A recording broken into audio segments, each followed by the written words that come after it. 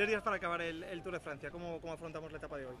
Bueno, con paciencia porque tenemos una etapa larguísima, más de 220 kilómetros más 9 neutralizados. Son cerca de 6 horas en, el sillín.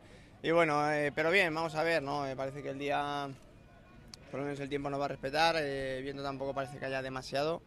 Entonces, bueno, a pasar el día y mañana el último apretón en la contrarreloj. Lo decías en este Tour, alguna etapa que ha sido así larga, tampoco tiene mucho sentido, ¿no? y, y menos a lo mejor a dos días ya de, del final, ¿no?